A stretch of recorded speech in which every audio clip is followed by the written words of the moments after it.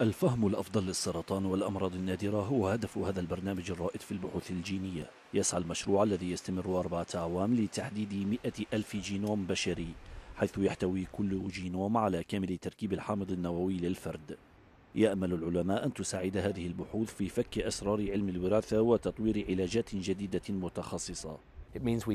هذا يعني تشخيصا مبكرا وتطويرا للطب الوقائي ولعلاجات جديدة. رأينا هذا في السرطان. فأحد الأدوية الواعدة رفع معدل شفاء سرطان الثدي من 40% إلى أكثر من 95% هذه الثورة ستغير الطب برمته. إدوارد شيرلي برايس لديه تجربة مباشرة حول ضآلة ما نعرفه في مجال الجينات.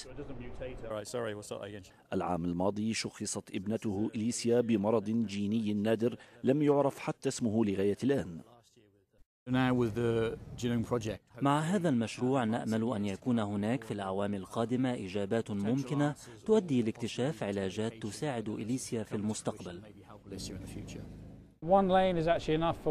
ربما لا تأتي العلاجات المتخصصة التي تنتظرها عائلة إدوارد بالسرعة التي يأملونها.